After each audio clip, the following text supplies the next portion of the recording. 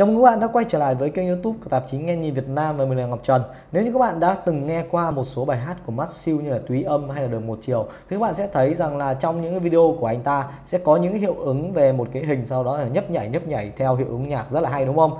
Và chắc hẳn các bạn sẽ suy nghĩ một điều rằng là để làm được những hiệu ứng như thế này thì chúng ta sẽ cần phải có một kỹ năng về làm Adobe như kiểu Premiere hay là Adobe After Effects rất là cao thì mới có thể làm được. Thế nhưng không, trong video này thì mình sẽ hướng dẫn đến cho các bạn cách để chúng ta tạo những hiệu ứng đó hoàn toàn đơn giản chỉ với một cái ứng dụng trên chiếc smartphone mà thôi.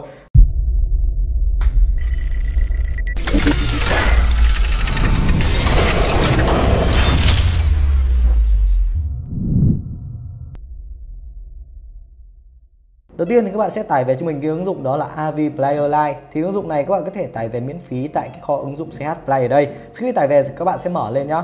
À, ở đây thì nó sẽ mở ra cho mình cái cái danh sách bản nhạc đang có trong máy của mình thì mình sẽ lấy ví dụ như đây là bài Cùng Anh này.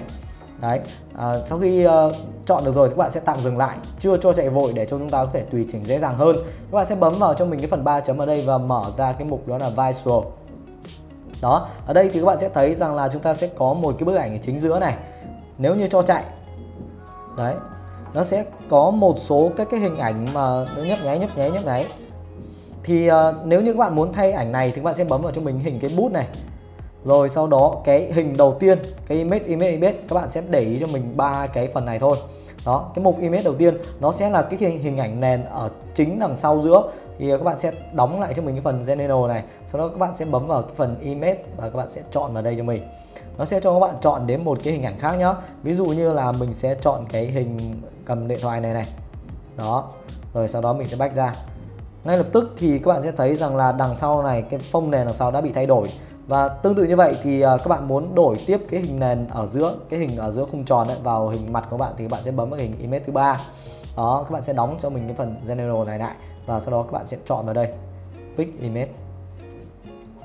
Và chúng ta sẽ chọn đến một cái hình ví dụ như là cái hình này đi. Đó. Rồi sau đó sẽ bấm vào cho chạy này. Đó, chúng ta sẽ có một số hiệu ứng rất là hay ho. Và các bạn muốn đổi hiệu ứng này nữa thì các bạn sẽ bấm vào cho mình cái mục ở đây này sau đó các bạn sẽ chọn tùy từng hiệu ứng của bạn thích. Bấm dù dụ như chữ x này. Đó như đây thì nó sẽ chuyển sang chữ n mình cũng không biết là sửa cái chữ n kiểu gì.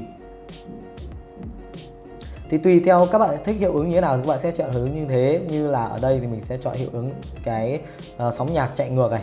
Nó sẽ nhảy đấy. Và tất nhiên các bạn vẫn sẽ có cái khả năng đó là chỉnh lại được những cái hình nền như thế này và rất đơn giản thôi. À, và sau khi các bạn đã chỉnh xong được những cái hình nền cá nhân của bạn rồi và các bạn muốn lưu lại cái video này thì các bạn sẽ bấm cho mình vào cái nút tải xuống ở đây. Đó. Ở trong này thì chúng ta có thể lựa chọn những cái độ phân giải để có thể xuất ra như 1080 hay là 720 30 khung trên giây thì à, mình sẽ chọn thử vào 1080 30 khung trên giây nhá. Video codec thì các bạn sẽ cứ để default cho mình. Sau đó các bạn sẽ bấm vào export đó nó sẽ loát và nó render ra các bạn và công việc cuối cùng của bạn đó chính là chỉ ngồi chờ đợi cho nó render cho tới 100% là chúng ta đã có một video về hiệu ứng sóng âm rất là tuyệt vời rồi nếu các bạn cảm thấy video hích đừng quên bấm vào like, share và subscribe kênh youtube của tạp chí Nghe Nhìn Việt Nam nhé. Xin kính chào, hẹn gặp lại các bạn trong những video lần sau.